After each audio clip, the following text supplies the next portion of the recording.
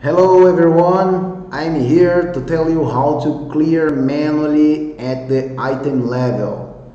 How can we do this?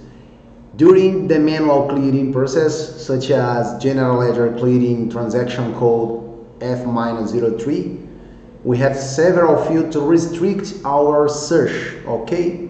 But BUZEI, the field related to item, is not available at the standard transaction. I'll tell you how to use the comment field to add a special character and special comment to call up the document number and the item to be selected and to, to have your selection at the item level such as uh, some installment at the document number or to clear a particular item in the same header of the document. Okay? Let's see it here we have the transaction code FBL3H.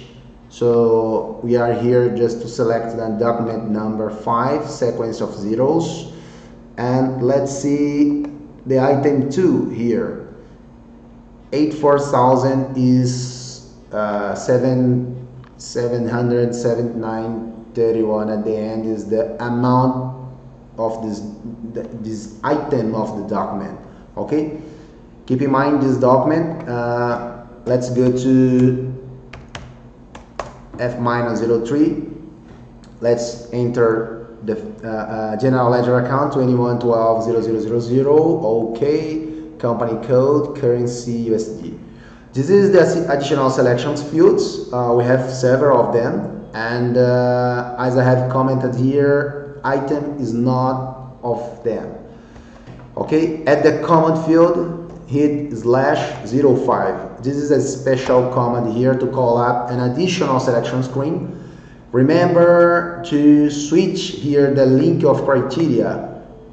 We have to put AND at the beginning here just to cross all fields entered here. BELNR is the field correspondent to the document number and we have here BUZEI for the uh, item of the document. Okay, the item 2, document 50000 in sequence. Okay, let's process open item here.